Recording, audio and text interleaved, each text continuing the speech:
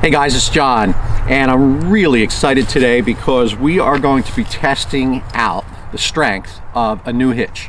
Now, I say a new hitch with a small question in my mind, only because of the fact that although I did devise this, it's always possible that something like this already exists. And part of this video and subsequent videos to follow will be trying to get the word out and find out if that's the case. And if any point during this journey we find out that's the case, we'll make sure to give credit and find out how and if we can use such an invention in our own climbing and rigging. So my objective here was to find a hitch that's a quick release hitch, meaning that if you're familiar with the highwayman's hitch, which is also known as the bank robber's knot or the getaway hitch, or if you're familiar with the painter's knot, these are, or painter's hitch, uh, these are hitches which you can secure relatively easily and pull on a drawstring and the whole thing just falls apart. It spills and releases. However, the ones I mentioned, to my knowledge, are not appropriate for life safety and what we're looking for is for something that is appropriate for life safety so for example my audience which consists of a lot of climbers who might use climbing sticks or other rope climbing methods to get into a tree they might use SRT they're securing it with a basal anchor or uh, folks who use climbing sticks and then want to rappel out of a tree and want a secure cinching knot which can be easily released. These are some potential applications. And when we test such a knot, we're going to want to make sure we test it in the appropriate direction of pull. So today's test will be that. I will be securing this hitch. I'm standing over a fallen maple tree and I've got four of those hitches in this test. We'll be pulling it from the top of the tree down and we'll be pulling it from the bottom of the tree up. I chose this setting because it's going to allow me to walk up and down the tree and have a more effective video than we would have if I was uh, in, a, in a standing tree where I physically have to go up and down as does my camera person. So uh, I'm gonna I'm gonna pan down here to uh, my right and show you what we've got set up. So at the top of the of the tree, at the top of our setup is the hitch itself. So again, at this stage in the journey, I'm not giving instructions on how to tie the hitch, right? We want to um, do things in the right order. It's got, its properties are that it has two bands that go around the tree and only intersect at one location. Now, should they intersect at another location, that might only impact your ability to cinch it tightly. But if any turning or wrapping occurred during loading, that should not impact the effectivity of the hitch itself. It's released by tugging on the release line. And a really nice property of this in my initial testing is that I can release this with ease even after significant loading. So uh, this line could have hang down all the way to the base of the tree. After the climber rappels to the base, tug on this, the whole thing falls. We're going to cover those details, tying it and untying it, releasing it in other videos. Right now, we want to check its integrity. So I've got one variant of that hitch here, and it is pulling in the direction of the trunk itself, or orthogonal to the bands going through the tree. I also have the same hitch here on a Beener. So this one's not orthogonal, it's just being used as a standard hitch. But these two hitches will be seeing the same amount of force. The inner forces that are inside of this, let's say we have a thousand pounds on this, the inner forces here can be greater. And so it's completely possible that even if the hitch was uh, incredibly secure, these lines could actually break uh, before the hitch or before the uh, tension applied here. So all I'm saying is if we had a thousand pounds here, the inner forces here could be greater than a thousand. I'm using eight millimeter uh, Sterling cord. This cord's been in my basement for a while, but I believe the uh, rated breaking strength at time of purchase was a, a little over 3,000 pounds. I think it's a little stronger today, but don't quote me on that. We're gonna we're gonna try to get over a thousand pounds on this and see see what happens um, we're prepared to lose this rope and this is a one take uh, test right so no retakes so we've got a second variant of the hitch here and now here starts my two to one system. So the inner pulling forces are in a two to one. That's going to allow my winch to do less work. And my scale, which is only rated to 1100 pounds, uh, won't try to see more than 1100. So anything I see on the scale, the actual tension here will be multiplied by two. So if you're not uh, you know, familiar with mechanical advantage, the tension in my, uh, this strand at, at my right will be double the tension here because it is distributed evenly. So I'm going to I'm going to pan on down. So you're seeing both sides of the two to one system, both sides of the two to one system. Here is the the winch on one side of the two to one system. Put on my safety goggles, and here is the other side and the other poor man's pulley, which is another another Beener. Now the bottom end of this of the setup is exactly the same as the top. I've got that hitch here, which will be seeing the full load and I've got that hitch here seeing the full load. But again, this one is in the direction of the pull and this one's orthogonal. So uh, at, at, current time, I, we don't have a name for this, so I was just going to go for it and temporarily call it the JRB hitch, uh, as I do plan to incorporate it in my uh, JRB tree climbing methods. This video will appear on my YouTube channel, JRB Tree Climbing and Saddle Hunting, under the playlist, the JRB Hitch, until such time that we may need to rename it. And subsequent videos related to this hitch will also be located there, just to keep things organized.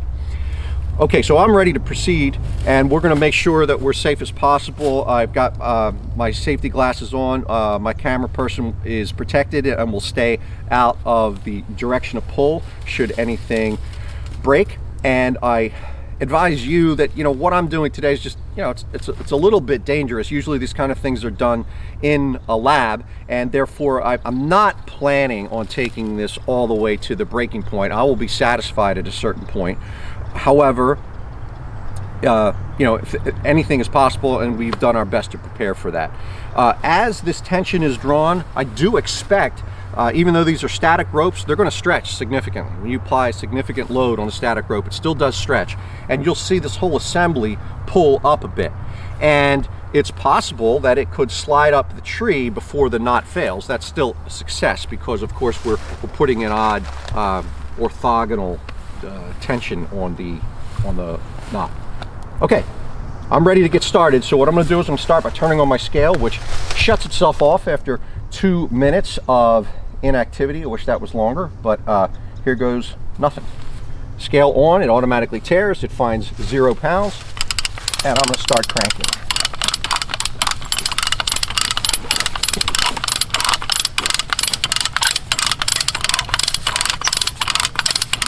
So I'm looking here a little bit while I still have, I see that, see that knot giving just a little bit, right? It's a setting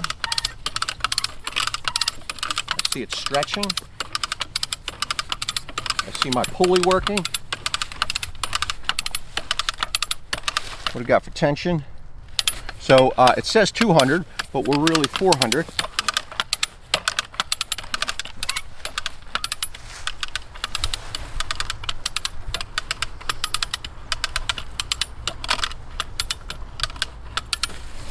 What are we up to? 285 which is double, of course. So now we've got over 600 pounds total.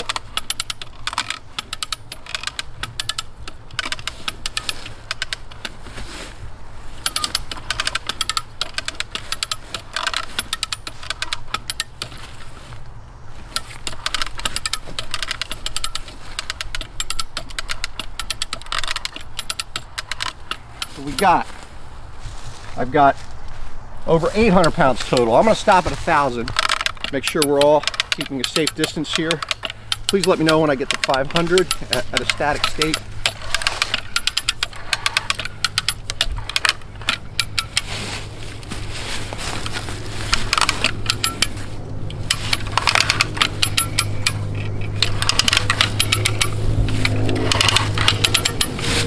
All right, where are we at? Okay, so I'm gonna I'm gonna let it rest there. And Paul, what do we got? 488. Okay, so we're in the, we're in the ballpark. I'm gonna inspect uh, the hitch. So down here, we're we're doing well. Hasn't compromised. I'm not seeing the draw loop drawn in. I used a, uh, a finger, a hand span, about six inches. I don't see that drawn in. I don't see this drawn in. Looking good, maintaining its integrity. This uh, one is only seeing half. I'm gonna jump back up into canopy. This is only seeing half. I'm not too concerned about him. He's looking good. He's looking good. Hasn't changed shape. I'm actually kind of impressed because we haven't had this kind of load on it yet. Um, So uh, a question, you know, I, I, haven't covered is, you know, what if, you know, someone accidentally drew this uh, draw line? Now you couldn't do it under tension like this, but a simple beaner like that would prevent this from being accidentally drawn shut. But for purposes of this test, we're not gonna, we're not gonna put any safety on. All right, so I am gonna go a little further and we may lose something here, but uh, thus far, I do consider this to be a successful test. And I will point out, in case we lose this, that not only are there two strands around the tree, but there are two strands binding the knot under load. So unlike a standard girth hitch, if you were to take a standard girth hitch to failure, it's that portion here that's the weakest point in the knot where the most pressure is placed on the rope.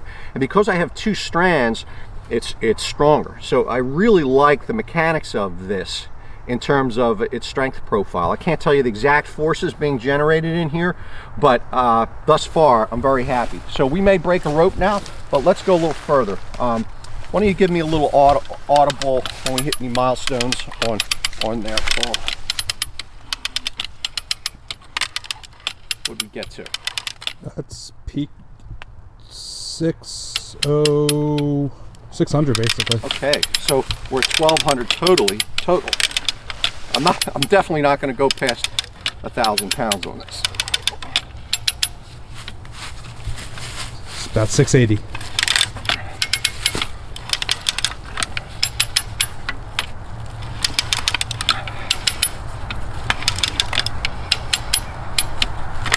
We should be about 700. So we are at 740, 740 all right let's just let's just stop there uh, i feel like that is an appropriate it's actually 720 720 so we're in the neighborhood of 1500 pounds i mean I, I, I, didn't have a specific number. I'm going a little bit by feel here with my rig and I've used this. I don't want to break my winch. Uh, so I, I'm, I'm feeling if we're in the uh, 750 range, that we're close. 770. Yeah, so we're we're over 1,500 pounds on this system here. And let's let's look at it again. Let's look how it's changed. So for those of you using static ropes, look how much that's elongated. But look at the integrity of the of the hitch. It hasn't drawn in at all. It hasn't compromised its structure whatsoever. It's holding strong here. Here again is only half the load, so that's no big deal half the load. And again, it's, it's looking great. Now why, I didn't point this out earlier, well why is this behind the knot? Well I tied the knot the exact same way, top and bottom. And because it's pulling upward here, it lays on top of the, the actual draw loop as opposed to the, to the top of the tree where it's hanging loose. So what I'm gonna do now is I'm gonna release the tension. Uh, I mean, we could leave this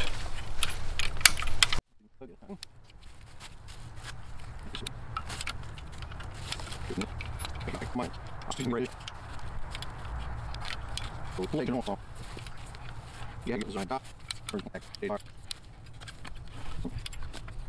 Tell. What things get done? Burn good. Show you this favor. Oh.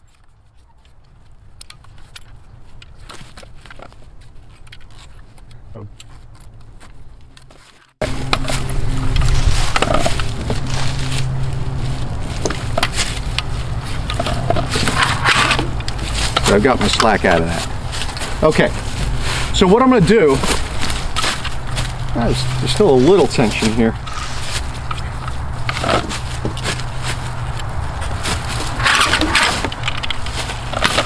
Now I've got the tension out of that. What I'm gonna do here